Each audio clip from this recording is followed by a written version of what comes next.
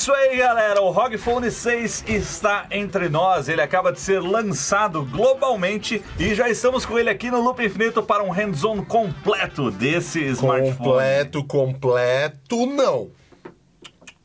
Quase completo.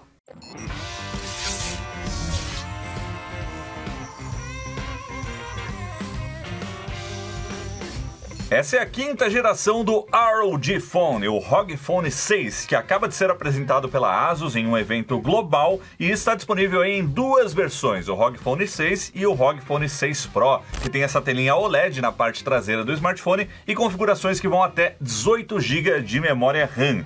E geralmente no dia do lançamento a gente sempre traz um hands-on, um unboxing do produto aqui, mas nesse ano, como tá rolando uma greve da Receita Federal que está atrapalhando muito a chegada de produtos, não é só esse aqui no canal. Tem outros produtos que estão parados, a gente não está conseguindo trazer as novidades. Hoje eu tenho um hands-on parcial dele aqui. Marcel Campos, seja bem-vindo mais uma vez aqui no Loop Infinito para a gente comentar um pouquinho do lançamento e importante deixar claro desde o começo aqui do vídeo que essa unidade que está aqui na nossa bancada hoje não é 100% final, né, Marcel? É isso aí, é um sample de engenheiro, ou seja, ele não é final, ele não se comporta como produto final, mas eu quis trazer aqui para mostrar para vocês aí em primeira mão, aproveitar também que eles me emprestaram o estúdio para fazer a transmissão no meu canal. A sua cobertura, né? É, a sua live. Foi do caramba, muito obrigado. Que isso, tamo E junto. aí, em contrapartida, tá aqui, ó, pra você mostrar Tá aí o pessoal. menino. E ele só tá aqui porque o Marcel tá aqui, porque essa unidade não sai da mão dele, né? Pode pôr a mão. É, mas eu já não, pus já. não põe a mão. Não põe a mão. Não!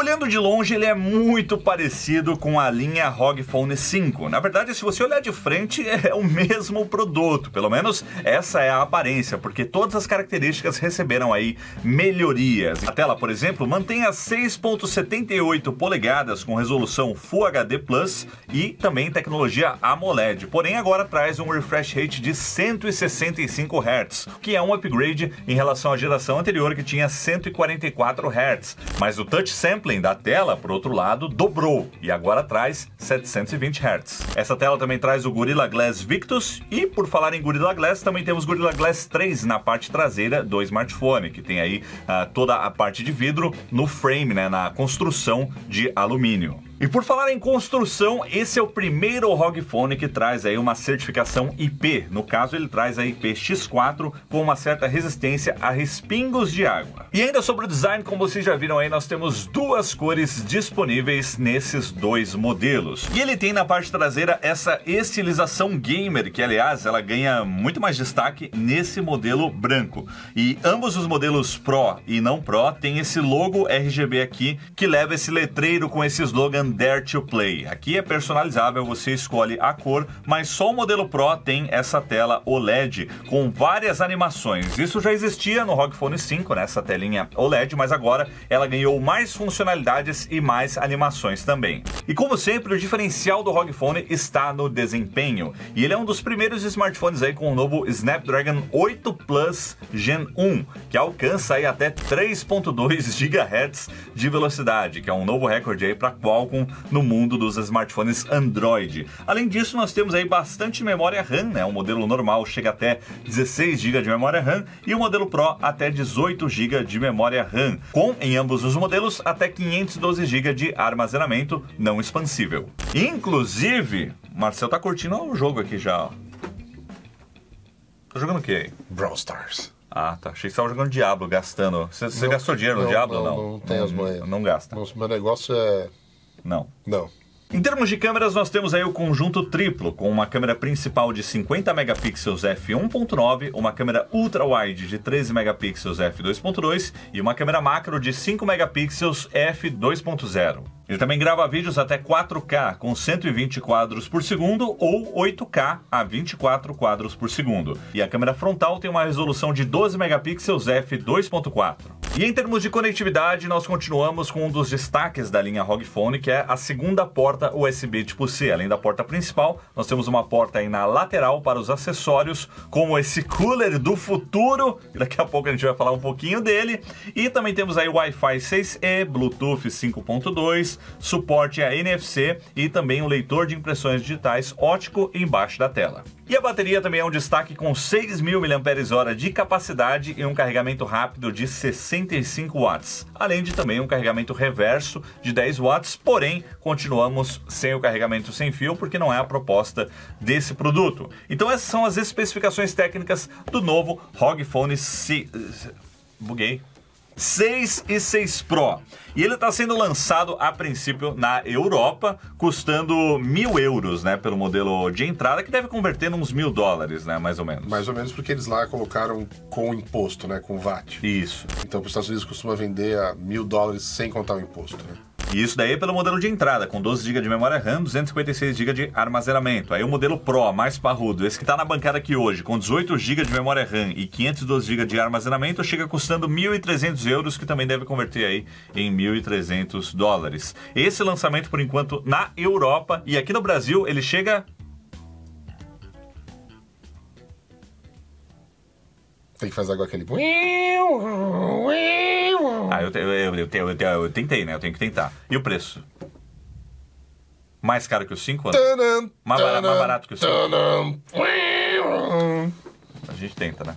E essas são as principais informações aí com relação ao lançamento desse produto. Como eu comentei aqui no começo do vídeo, nós ainda vamos fazer um unboxing e um hands-on dele aqui, comentando aí os principais destaques, porém, tá rolando um atraso aí na liberação da receita. E quando chegar, chegou, aí a gente faz o vídeo. Até lá, temos um semi hands-on com o Marcel aqui, que trouxe essa unidade aí que eu não posso encostar, não posso ficar opinando muito, mas vamos lá os destaques desse produto. Então, como eu comentei, Marcel, tá certo essa. Ah, tem o P2, esqueci de falar. ele, P2, mantém, ele mantém, mostra o P2 aí. Tana, ele mantém, Tana, ó, o único celular Tana, lançado em 2022 com, com conector. P2, meu irmão. Aí o cara fala, é P2, é P3. É 3.5 milímetros é jack. É P3 porque tem... É TRRS, é, essa, é. mas você dá errado mesmo. P2, P3. Eu errado. É, mas para um bom entendedor... Meia palavra, baço. Meia palavra, Brincadeiras à parte, obrigado pela presença aqui no canal mais uma vez, trazendo essas novidades aí em primeira mão, Marcel. Uh, e assim, o que a gente está vendo nesse produto são melhorias, uma evolução em, todos os, em todas as características. Características que, para o usuário comum, às vezes não faz diferença, mas elas pegam na hora do jogo, não é? Cara, você tem que pensar, obviamente, não só você, mas todo mundo está assistindo aí. A gente inaugurou esse mercado né? A gente trouxe um produto que não existia antes com as coisas que ele trazia, né? Inclusive foi muito difícil de entender. E ainda é muito difícil de entender é. para muita gente, o smartphone gamer, né? E aos poucos vai fazendo cada vez mais sentido para quem está distante do mercado asiático, onde já fazia sentido naquela época, uhum. aos poucos, com mais títulos chegando dentro do mundo mobile. Agora você tem Valorant dentro do mundo mobile. Sim. Tá o próprio League of Legends, Wild League Rift. League of Legends, Wild Rift. Você vai vendo que, meu, vai crescendo. Sim. E você também vai vendo um shift, né, cara? Uma mudança na galera, quantidade de pessoas que jogam esses títulos mobile versus a quantidade de pessoas que jogam no console, no PC. o mercado mobile já passou de PC. Há jogos. muito tempo. Por isso que é aí que é aí que tá o ouro, né? E é aí que as empresas estão sendo, às vezes, bem filhas das p lançando jogos que tem mais de 20 moedas para caçar o teu dinheiro, né, Blizzard? Mas vamos ao produto, Marcel. Fala aí alguns dos destaques, né? Você já está testando essa unidade aí há um tempo. É, tô brincando com ela, gosto muito da personalização da telinha. Antes era uma coisa mais estética. Agora não é só estética, ela também tem outras funções, te avisa, tem notificações, mostra quais são as notificações que você tem lá, sem você precisar abrir o sistema, se você quiser deixar ele virado na mesa com a tela para baixo e, e ver você só liga ali e vê quais são as notificações que tem. Você pode ficar de, opa, chegou uma do WhatsApp, né? Então, Sei, tipo, então. de repente você tá esperando alguma coisa. Então é bem interessante, tem essas coisas. Para mim, eu gosto bastante desse, desse visual diferente. Inicia uma conversa às vezes, sabe? Quando você quer mostrar para alguém algo diferente. Uhum. É legal. Mas ainda assim, apesar das evoluções e mais animações, ela ainda entrega o lance estético acima de qualquer outro. Qual é o outro smartphone que traz esse tipo de tela com essa ideia, com esse visual? Faz parte do ID do produto, né? E aqui dentro, cara, aqui tem um joguinho só pra gente ilustrar aqui, ó. Nada demais, o Brawl Stars. E ó, aquilo lá que eu tinha comentado é, olhando ele assim de frente, é igual ao ROG Phone 5, ao 3, ao 2 até, que eu tenho aqui o meu 2 até hoje. Então eu acho que esse é o único ponto negativo. Que ele, ele tem um design meio datado na frente. Mas não é negativo, é de propósito. É, É, é, é uma escolha. É uma escolha. Caixa de som, que é frontal, tá ali, ocupa bastante espaço. E o fato, na hora que você segura ele com as duas mãos, né? Você segura ele assim, essa parte aqui da mão, ó, ela sempre dá uma encostada ali na tela. É. E dando essa abertura aqui, né? Essa parte aqui, né? Esses dois queixinhos, como a gente fala aqui dos lados, você evita o toque involuntário da mão. É, é, é o, o bom disso tudo é uma consistência no design desde a da segunda geração. É, isso, isso, isso eu acho legal. É um design com razão, ele tem por trás um motivo. Uhum, entendi. É, é, e também não tem o Note, né? E não tem note. Ah, as pessoas ainda ligam pra isso, mano. Não, não sei. cara. 2022. Não sei, lembra? A Apple copiou descaradamente. Ah, de novo, não, super a. Asus ao contrário. A Asus comprou. Comprou? Comprei. Que medo de fazer vídeo de manhã. Só sai, só sai bugado aqui. E aí tem uma coisa legal que acho que eu vou até colocar aqui pro pessoal ver. Ah, quando a gente puxa agora daqui pra cá, agora você chama o Game Genie. Olha como tá legal, cara, a interface do Game Genie. Você tem acesso a tudo já. Ah, Antes ela era só a lateralzinha, né, no canto. É, Agora ela pega. Muita coisa fica escondida. É, parecendo um painel de carro. né? É, não, e agora, tipo, tá tudo aqui, então você consegue ativar e desativar tudo e ainda tem, pode mudar os modos aqui, ó. Você pode puxar e tirar também e mudar os modos, porque ele tem vários modos agora, perfis que você muda no meio do jogo. E tem uma outra coisa bem legal também que eu curto, deixa eu ver se tá aqui. Você pode chamar um outro app dentro dele, dentro do jogo, sem atrapalhar o jogo. Um overlay de multitarefa. Exatamente. Então, por exemplo, eu vou colocar a calculadora aqui, mas só de exemplo, poderia ser o WhatsApp, por exemplo. Esse é o preço dele aqui no Brasil? Não. Eu não sei de onde veio esse número, mas não é esse número. É Número brasileiro. misterioso de Marcel Não é o Campos. número dele, é um número, é um número, um número. É Só um número, nem viaja, galera. Nem entra nessa, é só um número que tá aí. Eu precisei calcular umas coisas e deu esse número aí. Não tem nada a ver com preço, nada disso, pelo amor. Nossa, Will. Mas você pode chamar aqui nessa telinha o que você quiser. Uhum. Então você pode chamar o Telegram, o WhatsApp, você pode chamar outros apps que você quer que fique ali. Um acesso rápido, né, para É. aplicativos. E, e é o aplicativo do jeito que ele é, né? Só que ele vem nesse formato que, meu, você não sai do jogo. Eu acho que isso é muito legal. É bacana, não, não interrompe. Eu acho que desde a- essa otimização do, do Game Genie, desde o começo, ela, ela tem muitos recursos para não atrapalhar a experiência do jogo, né?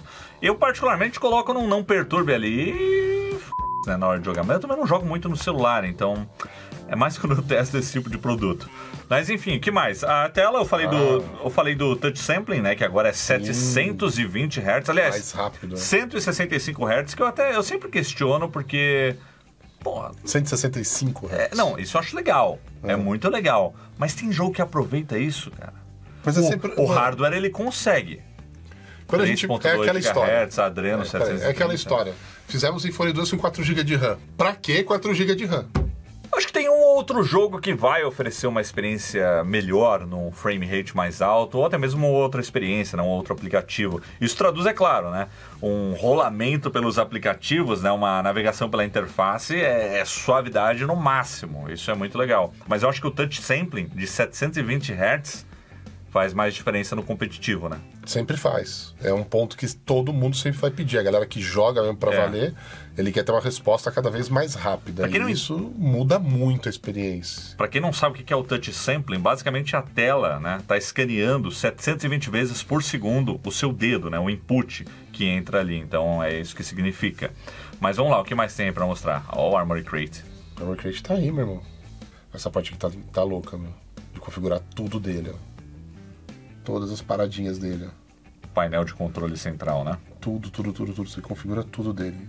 E os gatilhos, Marcelo? A gente não citou os gatilhos, mas ele se mantém, né? Ele ainda traz aí os, os air triggers, né? Tanto aqui quanto aqui embaixo. Ah, e é isso, você faz todas as configurações no jogo. Jogos a 165 Hz. Ah lá, tem uma página? Não, Deixa eu ver, peraí. Ah, não acredito. Ah, mas PUBG também é verdade, devia lembrar que PUBG roda numa, numa batata em 165 Hz. ah, lá, o Brawl Stars que ele tava jogando ali. E tem uma lista, assim, seleta, né? É isso daqui. Uh, como eu falei, né? São experiências que você tem, não é tudo que É, roda mas também- quando você encontra é muito legal. Vai, vai aumentando a lista. Quando É, a gente lançou o Rock 2, essa lista era pequenininha, você lembra? Lembro, lembro. Isso é legal, ter uma curadoria no aplicativo que já te dá alguns Já jogos. te que- fala o caminho. Na hora de testar também me ajuda muito. É. Menos PUBG que eu não gosto, mas enfim. Mas é uma questão de gosto. Vou levar pedrada até dizer chega agora. que mais que dá pra mostrar nessa unidade beta? Mais nada. Mais nada? Só Acaba isso? aqui. Acaba aqui? Não dá pra mostrar mais nada porque, meu, não é um produto final. Não é o produto final. Quando Bom, você mas- tiver, vai chegar. Mas deu pra dar um gostinho, é, só deixando claro que essa é uma pré-experiência, né? Era um vídeo que eu ia fazer só comentando o lançamento, mas o Marcel tava por aqui, aconteceu dele estar com essa unidade, e aí a gente já comenta um pouquinho. Mas assim, todas as experiências do ROG Phone 5 e 5S ah, melhoradas no ROG Phone 6, ele não perdeu nenhum recurso. É, ele tá- eu acho que só tem melhorias pra quem vai jogar. Porque teve, eu acho que foi o 3 que perdeu o P2, né? Isso. Perdeu o que- que P2 Eu fiquei por muito... conta. por conta do modem 5G, não era? É, era, assim. era a antena. É. Como as antenas estavam disponíveis, eles não conseguiram resolver o problema de antenas, resolveram, resolveram tirar. Mas aí depois voltou o P2. Então, Graças a Deus. Esse é um resumo, né? Essa geração melhora tudo que tinha na geração anterior, mas tem os acessórios também. E aí o grande diferencial e destaque desse lançamento é esse novo cooler. Olha isso aí, velho. Parece que saiu direto de um laboratório secreto da Aperture Science. Olha esse design, que cooler Saiu invocado. Cooler frigobar. Eu achei maravilhoso. A primeira coisa que eu quero falar sobre esse cooler é que ele não tem mais os pogo pins. Não. Então é legal, ele só conecta na USB tipo C e também faz o pass-through com É, o só cabo, tem uma né? agora, né? Aqui. Só tem uma aqui agora na lateral, não tem mais nada. Antes eram duas, né? Duas entradas. Depois veio uma entrada com Pogopin na família 5 É, e agora só uma, resolvida. Então você tira vídeo por aqui, você alimenta por aqui o cooler. O cooler também tem a própria alimentação dele. Não, e ele, esse cooler aí, ele tá muito louco. O design dele tá bem legal. Ele tem botões físicos atrás, que também podem ser mapeados e aí melhora a experiência. Mas o, o mais louco é a redução da temperatura, Nossa né? Senhora. Eles falaram que é o quê? Até 20 graus? Que reduz, 25. até 25 graus reduz a temperatura aí do, do chip, né? Do smartphone, evitando thermal throttling e também deixando o produto muito mais confortável para sessões Não, longas o de bagulho jogos. né? gera. Se você ligar ele, se você conseguir ligar ele sem estar no produto, Ah. ele tem uma trava pra isso não acontecer. Mas ele gela, ele cria gelo. É, ele, ele não é só ele não é só um ventilador É. nessa geração. Ele, ele, ele tem aquele sisteminha, tipo aqueles aque- aquelas geladeirinhas USB. É o frigobar, mano. Por isso que eu falei. É, literalmente. É o literalmente. frigobar, velho. É isso. Tipo, eu ti- eu tinha uma geladeirinha USB do Dio Extreme que era pra você pôr uma latinha assim. Isso aí, a gente fez eles isso. tinham- A gente pegou aquela geladeira, colocou dentro do cooler. Arrancaram a placa aqui. Simples colocaram assim. aí e o negócio gela. É claro que isso não é o produto, né? Esse é um, é um acessório que é vendido separadamente, a menos que tenha algum bundle, algum pacote que já venha incluso. Mas é uma das partes mais legais de- desse É lançamento. legal que o produto tá preparado. É, então, o produto vem preparado pra você ter um, um- Quem leva a sério, fica jogando por hora, sabe que o celular esquenta, você fica suando a mão, é meio chato. Então, com esse acessório que inclusive traz essa solução ah, térmica pra valer, que não é só um ventinho, né? Você realmente tá. Aí tá refrigerando o bagulho mesmo. Aí eu acho muito louco. Além disso, ele também é compatível com os gamepads, o Kunai 3. Correto. Então, pra quem quer curtir um Xbox Cloud À vontade. ou um Stadia lá em Orlando, né? Vem comigo. E é isso, eu acho que a última coisa que faltou a gente discutir aqui é preço e disponibilidade no Brasil. Esse vai esperar quando chegar no Brasil, se chegar no Brasil. Eu sempre falo isso e sempre trago, né? É que assim, eu tenho uma teoria, né? Sempre que a fabricante fornece um acesso antecipado pra gente, né, a gente espera que ele chegue no Brasil, porque tem que ter uma razão pra isso. E, e- e- tem produto que não deu certo também, isso. Tem. Aquele Google I.O. que a gente foi e testamos lá o Pixel, putz, era 4A, se eu não me engano. Né? O Zenfone AR. Eu tinha certeza que ele Não, veio o pro Brasil, AR, ele não lembra? veio. O Zenfone Zenfone AR. AR, Projeto Tango, mostrou, Projeto é, Tango. Tango. Eu lembro. é. A gente mostrou também, só que esse não teve como trazer. Mas esse aqui vem, né? Ele já tá aí. Tira a mão. Tira a mão. Vocês não sabem, ele fez eu assinar um contratinho aqui antes de começar o vídeo que eu posso segurar ele por tantos segundos. Eu gastei tudo isso no começo do vídeo, agora não deixa mais eu pegar no negócio. Então é isso aí, pessoal. Por enquanto é só. Esses foram os nossos pitacos aí sobre o lançamento do ROG Phone 6. Como eu comentei, ele ainda vai chegar pra gente. Aí eu vou fazer um unboxing, fazer aquela análise testando o produto, que aí geralmente eu testo por mais de um dia, pelo menos, para contar sobre todas as novidades e os recursos. Marcel, obrigado aí pela presença aqui no canal. Por acidente, né? Você caiu de paraquedas aqui, não tava programado nada, mas aí tava aqui, a gente acabou fazendo aí esse conteúdo. E obrigado por ter esse early look, esse sneak peek do que vem por aí. Tá aí. É isso que você tem a dizer, tá aí. Eu falo um textão mó bonito, você fala, tá aí. Fica mais legal. Tá bom. Valeu, galera. Até a próxima.